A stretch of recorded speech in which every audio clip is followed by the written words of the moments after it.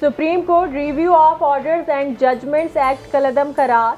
Supreme Court review act parliament जी कानून साज़ी वारनि इख़्तियारनि खे ओरांगण आहे।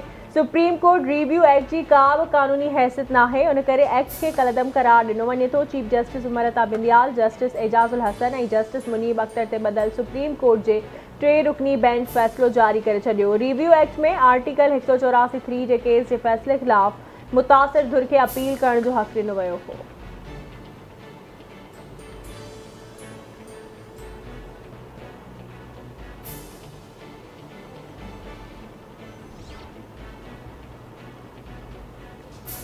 अपील ऐं नज़रसानी हिकु जहिड़ियूं न पर मुख़्तलिफ़ आहिनि। पार्लियामेंट जा कानून साज़ी ऐं सुप्रीम कोर्ट वटि रूल्स ठाहिण जा इख़्तियार बराबरि आहिनि। पार्लियामेंट जी सादे कानून साज़ी सां सुप्रीम कोर्ट रूल्स खे बेअसर नथो करे सघिजे। Supreme Court review of judgments and orders act बाबति सुप्रीम कोर्ट जे तफ़सीली फ़ैसिले में जस्टिस मुनीब अख्तर जो इज़ाफ़ी नोट संदसि चवणु आहे त छा पार्लियामेंट तरफ़ां हिदायत करे थी?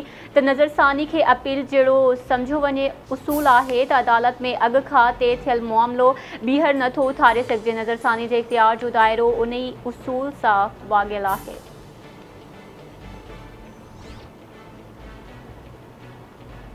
मुल्क जे निगरान वज़ीर आज़म बाबति फ़ैसिलो अॼु थींदो वज़ीर आज़म शहबाज़ शरीफ़। अॼु ॿीहर ऑपोज़िशन लीडर राजा रियाज़ सां मुलाक़ात कंदो। निगरान वज़ीर आज़म जे मामले ते सलाह मशवरा कया वेंदा। वज़ीर आज़म शहबाज़ शरीफ़, निगरान वज़ीर आज़म जी मुक़ररी जे मामले ते मौलाना फज़ल रहमान सां मुलाक़ात कंदो।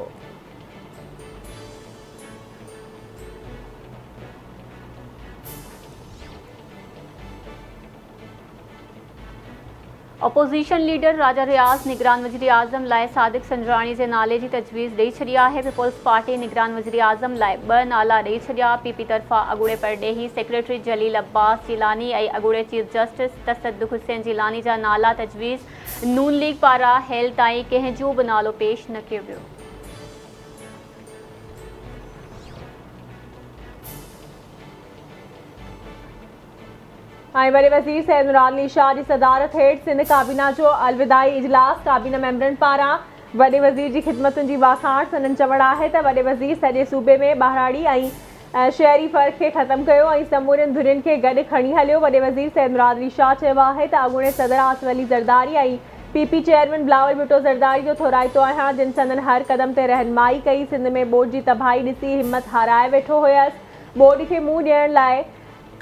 सिंध काबीना की मेहनत से सब मुमकिन आहे